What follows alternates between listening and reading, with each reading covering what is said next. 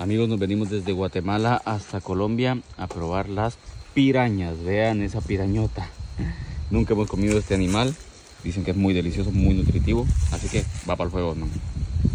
Que ya se está preparando un sudado muy delicioso. Vean nomás eso.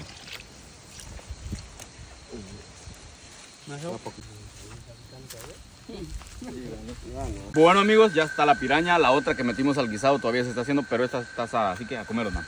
Probámosle un pedacito. ¿Caliente? Cosa riquísima. Muy rica. Muy, muy rica la piraña.